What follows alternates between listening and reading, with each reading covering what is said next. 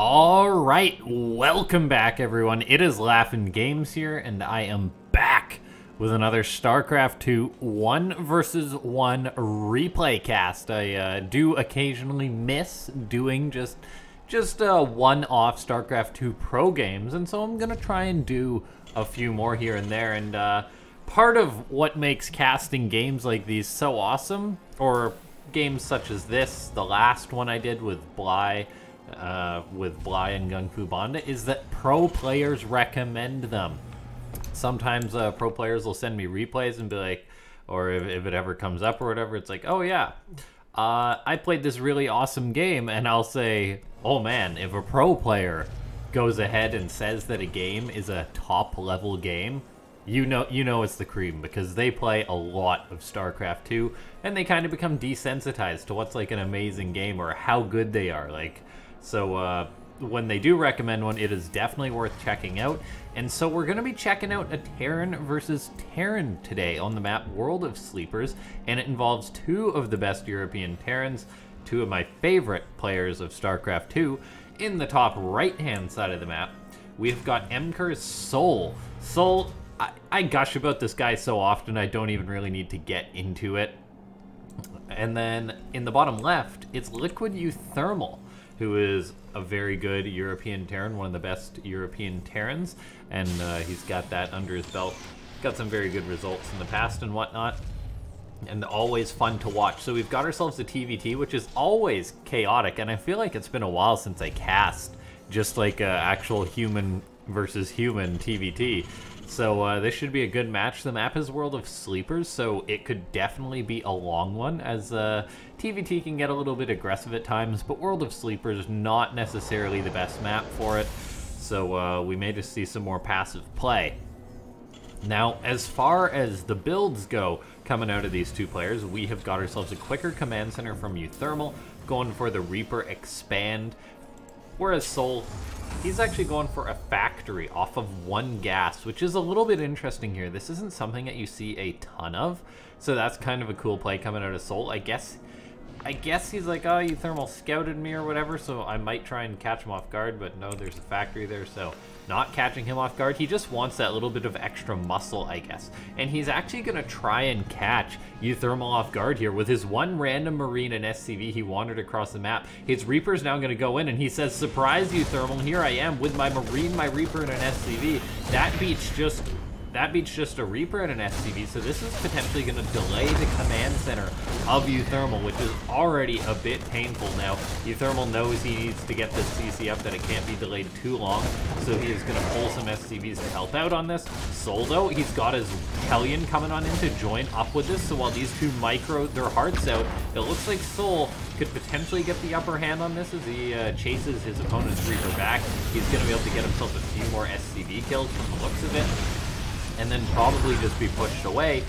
So when when the cards are counted, we still see uThermal taking a bit of damage here. Soul still pressuring his opponent, and in total, Soul managed to rack up five SCV kills for his one SCV and his one Marine.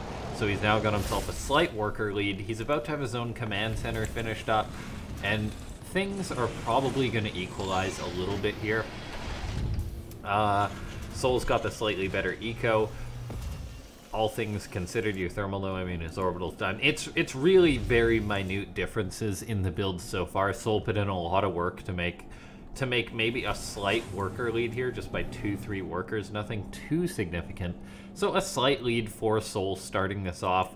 A lot of work in order to pressure uThermal like that, as uh, just trying to overpower your opponent. It can be done at times. But oh, look at this. Look at what uThermal's doing right now. He's going to be going for a mass Hellion play behind this. Uh, this could potentially be bad news bears for some of for Soul, basically, if uThermal's Hellions are able to get the upper hand on him.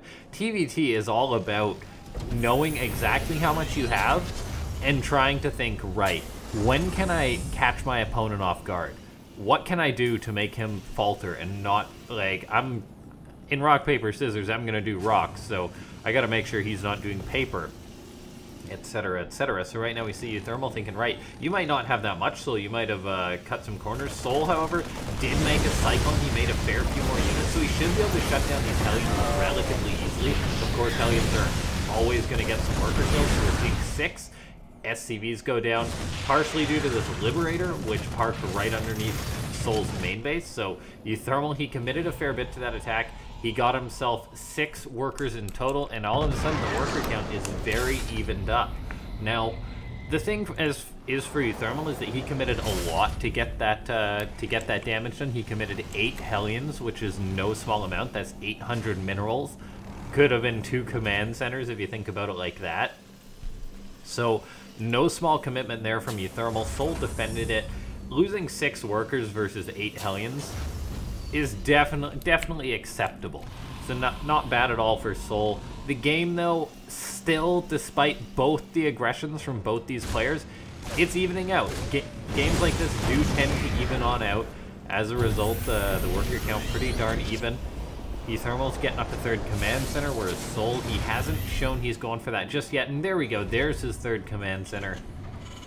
It's going to be on location.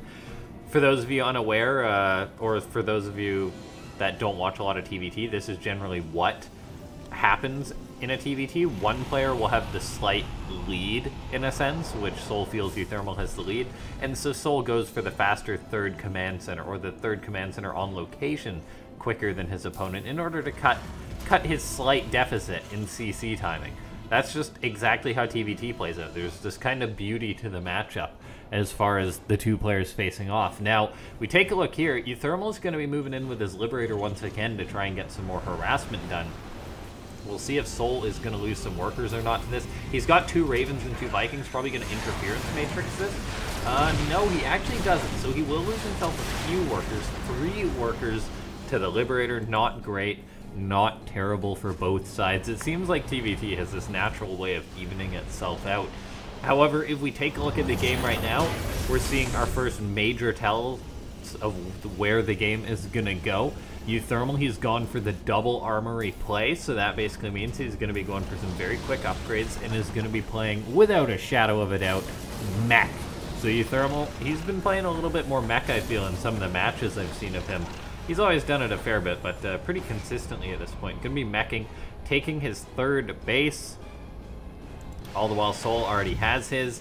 Soul getting up Stimpak, so he's going to be playing Bio. I haven't seen Soul mech too much, honestly. He's a very bio-heavy, bio-heavy Terran.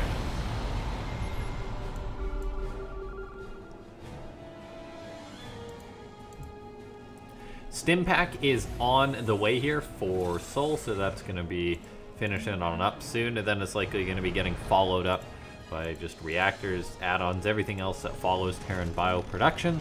The question is for Soul, how will you deal with this meching Terran player? Because a meching Terran can be very, very tough to deal with. They can be incredibly, incredibly annoying because you want to queue up and play a ladder game on StarCraft 2 just have a bit of fun after work or after class, something like that. And all of a sudden you run into this Terran who's meching, who doesn't want to leave his hole, who wants to drag the game out.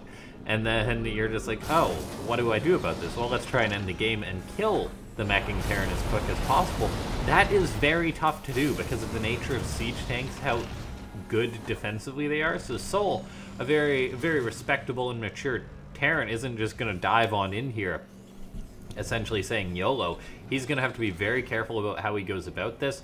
And as a result, we might just see a macro up behind this even more because you really have, say, three options to deal with to deal with the mech if you're the bio player.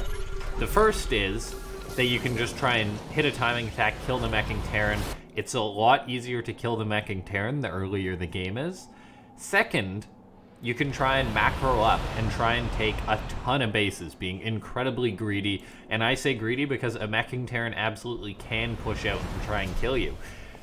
The third is that you can try and take complete sky control. And so that could be the option that Soul goes for here. It is possible that you can be greedy and go for Sky Terran. That is definitely a choice. However, it usually is just one of those three options as far as how you how you got to deal with what your opponent's doing. Soul's probably going to want want to try and assert his army presence. as much as possible to try and delay any fourth base from uThermal, but uThermal, he's already got that fourth command center building, and once Mech is on four bases, it becomes very tough to shut down. So Soul, he's already saying, right, whatever, I'm not going to be able to kill you, uThermal, so he's throwing up more starports here. He's getting up a fusion core as well, so most likely going to be mass Viking Liberator to try and seize the air control. uThermal, though, we take a look, he's already unsieging some of his tanks. He's going to be moving out to try and take this fourth base. Really lock down his side of the map by securing this base. Soul isn't in position to intercept this either, which I think is a bit of a shame. He could have maybe positioned his tanks a bit more aggressively, but of course, he knows his opponent has mass Raven and Spikes. He's got to be very, very careful. Ravens can easily make it so you take a bad fight. And as a result, we see Soul right now just being like, fine, I'll back off and the reason we're not seeing Soul be more aggressive with his bio this game is simply the fact of the matter that he's producing just Vikings behind this, essentially. He's just going hard into the sky because he knows he can't beat his opponent with his ground force. Now, we're 11 minutes into the game. Ladies and gentlemen, let us try and hit 40 likes on this video, so make sure to slap that like button if you enjoy this type of commentary. And then, of course, if you're new to the channel, go ahead and hit that subscribe button. I commentate a lot of StarCraft 2, some of it basically for everybody, and so make sure to keep your eyes open for that. Now, uh, we'll just uh, see how this game's progressing. uThermal going hard on his 2-2 upgrades, so his mech force is going to be very strong. Soul throwing up three command centers right now at a time it's what you got to do against a meching Terran. You got to try and hold them back, but then, oh, look at that. Hellion run by from, from you, Thermal. Nicely done. Soul's to have to replace his SCVs. Anything that you Thermal can do to make Soul falter is like a ripple effect, because if you're the Bio Terran and you let essentially your enemy gain momentum in the game back, then it is incredibly hard to rein it back in. Once a meching Terran is kind of like standing tall and really solidified. It is just tough to deal with. Right now we take a look, Soul making seven Liberators at a time, which is nuts. Seven Liberators at a time is not cheap at all. I mean, Liberators are not cheap units. So that's just nuts how Soul's committing that much to that. We do take a look though, both players are approaching max. Thermal wants to push out because he thinks he may have time here. Soul's Bio's trying to buffer as much as it possibly can, but the second Thermal siege tanks up that bio is going to evaporate, however, we take a look now, and all of a sudden Soul reveals his hand, he reveals his Mass Viking. His Liberators are going to come on in too, they're going to set up, and there's only two Thors here for uThermal, so they can actually fall to the Liberators, and when they do, Soul could potentially clean this army.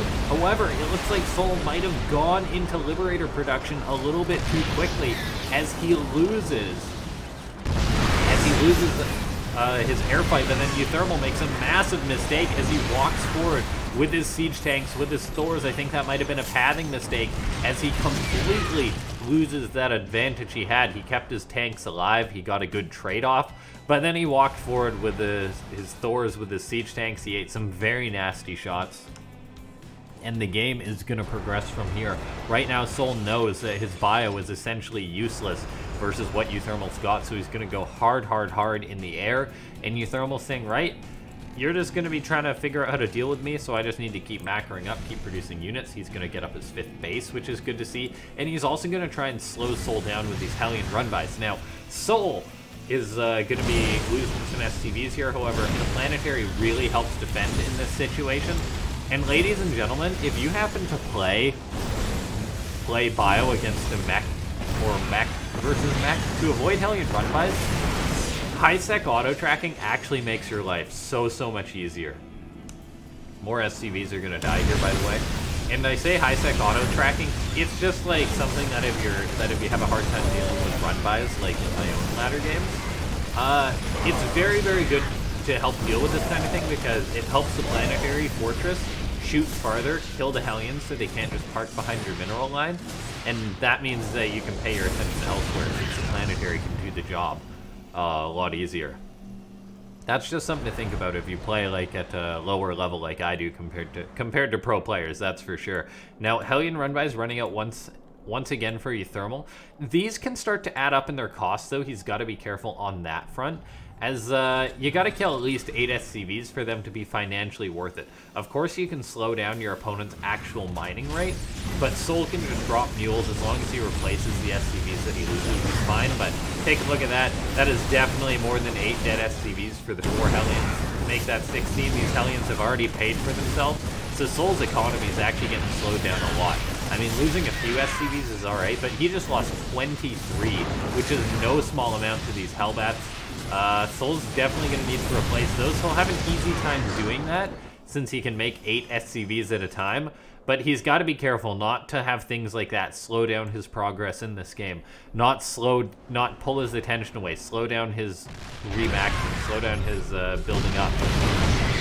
Uh, uThermal, losing some SCVs. No, that wasn't another misclick. That was simply him trying to free up some more supply in order to build the best mech army possible. StarCraft 2 games often can become who's got the best army, and sacrificing some workers to have a better army can allow you to win that game.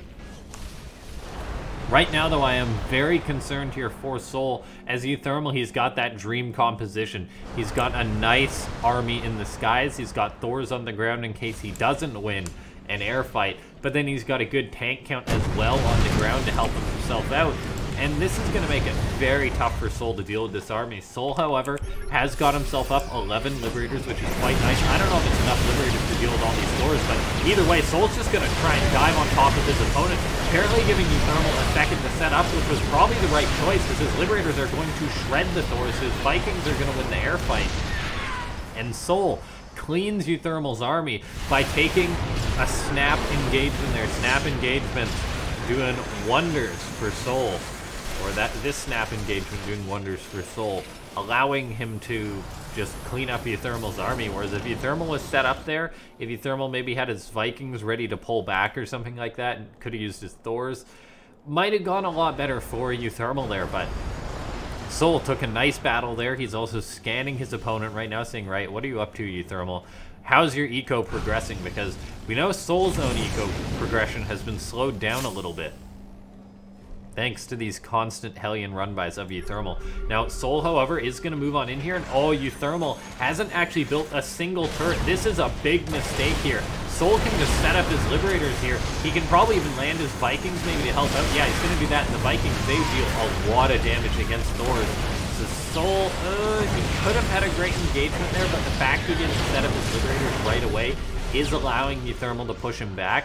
That's actually a pretty big mistake, I feel, from Soul. The fact that he didn't siege up those Liberators, he probably could have got this base if he did right away. That being said, though, he's also going for Liberator harassment, shutting down the Thermal's economy a little bit. That's also very important because neither of these players are comfortably maxed out with a bank. So slowing down your opponent's economy, particularly for something cheap like a Liberator to the effect that it does it, can be absolutely worth it. Now, uh, these Hellions going to be going for a run by once again. Soul's going to want to deal with this. Uh, he hasn't dealt with it yet, though, and he's going to lose some more SCVs. Just land the Viking Soul. He's going to siege up all of his Liberators to deal with a few Hellions. I should also point out, I think it would be good for Soul and uThermal likewise to go for that transformation service. We see uThermal has got it, which will benefit his Thors, but if Soul needs to land his Vikings quickly, that can definitely help out. Uh, the one Marauder going to be microed against this Hellion. Soul has taken constant, constant Hellion run-bys. Ladies and gentlemen, it is time for the guessing game. How many SCVs of Soul have died? I'm going to place my bets at a solid 43. Uh, how many? 74. Holy cow. I was thinking that might have been like in the 50s, maybe. But oh man, that is a lot of dead SCVs this game. That is a lot of dead SCVs. Thermal really slowing down Soul's economy. Of course, Soul's economy isn't at a tipping point in which it's irrecoverable, but this is still nice damage from uThermal. The Hellions have pretty much always paid for them. They've definitely slowed Soul's growth down. And so that is very nice. We take a look at the armies that are being built. uThermal is basically just going mass Thor Viking because he knows that there's essentially just Liberators and Vikings in the sky for his opponents, so Thor is going to be the answer to that. This is why I think it's important to include a few siege tanks in your army in this kind of situation. as they work wonders against the Thors. Soul realizes that uThermal is just going to be going for a bit of a base race, and he's going to pull back his whole army. These two battle cruisers that Soul had made, though, are actually going to die. They're not going to get the base. Soul's going to try and dive on top of this army, force back the Thors and Liberators. A couple Thors are going to go down, but uh, this is actually going pretty well for you, Thermal, I feel. Soul now has got a few siege tanks with his army, which is actually so, so important. I must say it again. The Thors will actually just split out if you don't have any siege tanks in your forces. Oh, look at this.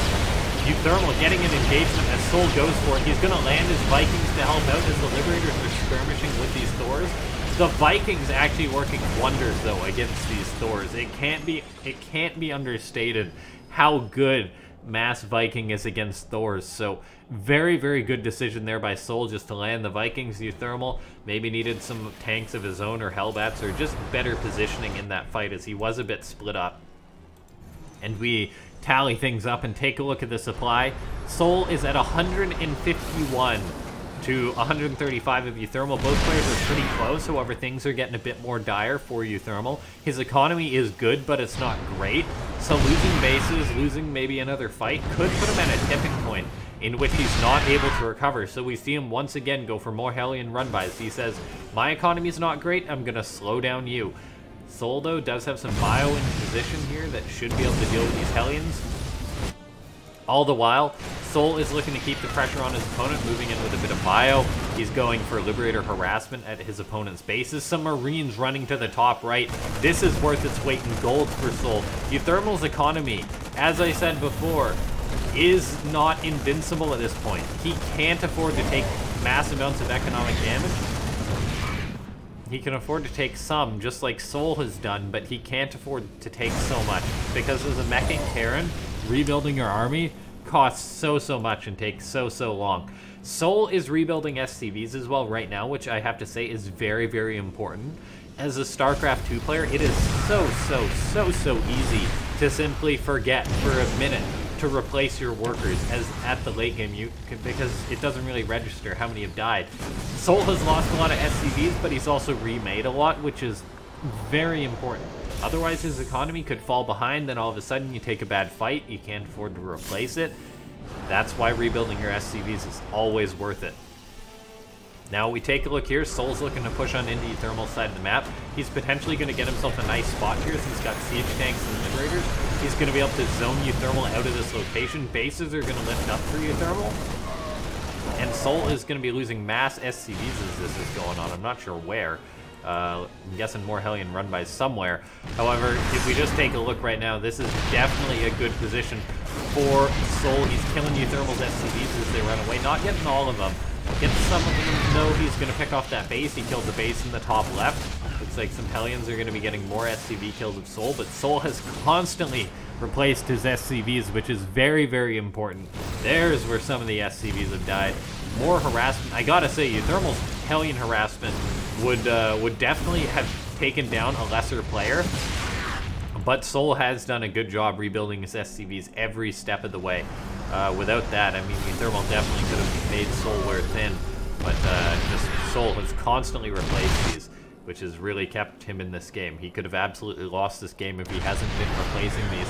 Now, there is still a chance that uThermal can bring this back. Like I said, StarCraft 2 is all about single army fights. Right now, Hellbats are going to morph or transform right on top of those tanks in the Bio Army, so that's a bit of a nice engagement on the ground for uThermal, but he's still got to deal with the mass air army that Soul has. He's going to lose himself a Thor. His Vikings are skirmishing under Thor's support, which is nice, but uThermal, he's still got to take that one wonder fight. And we, it looks like he's going to try and flank Soul's army here. He's going to get a jump on top of these Liberators.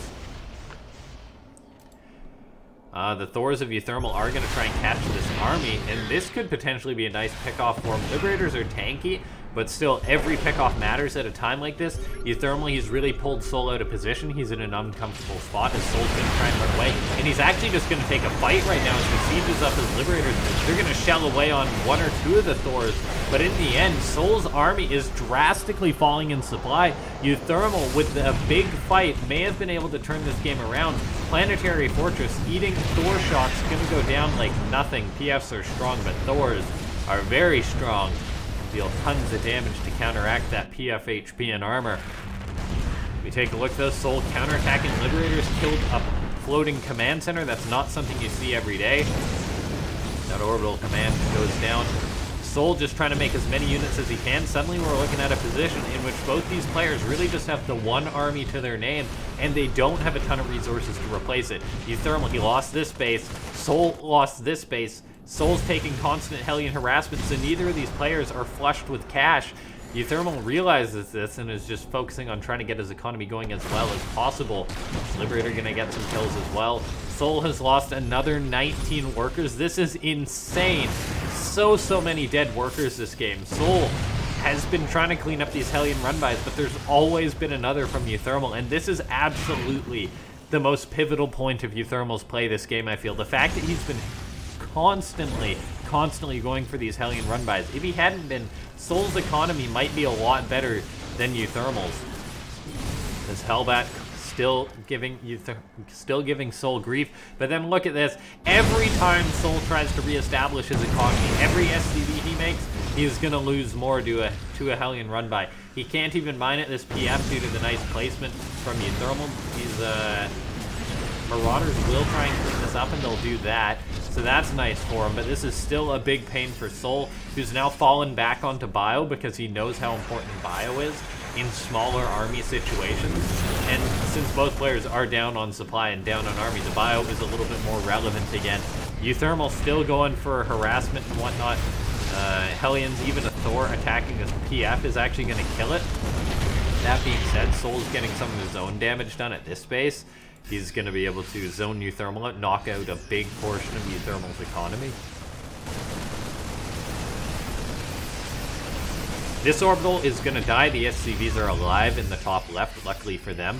uThermal still got the better army at this point in the game, though not just supply-wise, but also just tech-wise. These Thors, these siege tanks that he's got, are pretty tough to take down with just the Bioforce that Soul has. And oh my gosh, another Hellion run by from uThermal. Soul is probably cursing uThermal right now, saying to stop it, stop it, stop it. He's just so, so relentless with his sick, sick harassment. And now we take a look. uThermal, he's looking to move on in. He's looking to take a good fight, and I think he may be able to. Soul has 16 Liberators, but that's against 13 Thors. He's got a good chunk of bio, but I don't know if it's enough bio. The supply is close, very close at this point. It really could just be all about the positioning for a fight. Does uThermal walk into a bunch of bad Liberator shots? That could be seen. Is the Bio able to get on top of the Thors before the tank siege up? That's the question. Is Soul gonna go for it? Yes, he is. This could be the final fight of the game. Liberators are getting set up, but they're kind of eating Thor shots before they do. The most of them do get set up, though. The Vikings are gonna land to help out. The Liberators are chewing up a ton of the Thors. There's only three Thors, two Thors left. It's one final engagement, and it looks like Soul was able to take this engagement. The supply, though, still very, very close as both players took massive losses. Uh, uThermal will end up losing that final Thor out on the map, though. And Soul is up on army supply. Both players are making everything they can. uThermal making tons of Hellions since he's got mainly just minerals due to that mule money. And now he's going to have to try and hold on against what Soul has, but Soul has the air control, which can be pivotal in a situation like this. He's able to set up his Liberators, he's able to chase uThermal away, and these Liberators are going to deny mining on uThermal's side of the map. And both these players have essentially no economy at this point in the game, so every worker killed is so important. uThermal, he's barely mining at this point now. Soul, of course, has also taken massive economic damage, but that's kind of just been the way Soul's been this entire game, with losing so, so many units. It's like, oh, no big deal losing more SCVs for Soul, but uThermal, he is really running out of mining opportunities here, so he's going to transfer more SCVs. He's going to float over another base here. He's really running low on his orbital commands compared to what he was, and this is how these players are both just running out of steam, but uThermal does end up falling to Soul as Soul takes the victory just in such a close game. And don't go anywhere, ladies and gentlemen. After the spiel here, I'm going to check how many SCVs have died this game. So, ladies and gentlemen, let's try and hit 40 likes on this video. This was an epic TVT, just two top European Terrans If you're new to the channel, subscribe. I implore you to subscribe as uh, it shows the support. I'm gonna try and hit 10,000 subs by the end of uh, by the end of the year, and then uh, there's a Discord linked in the description of every video, and of course, there's also memberships on the channel if you feel so inclined. You can check those out. And uh, yeah, ladies and gentlemen, thanks so much for watching. Let's take a look. My official guess for the SCVs that have died this game. Enter your guesses now. I'm gonna go ahead to say 147. 172. Close. I, I, I'm pretty happy with that. A margin of 30 SCVs. I'll take it. 172 dead SCVs in this Pro StarCraft 2 game. Ladies and gentlemen, I'll see you next time. This has been LaughNgamez.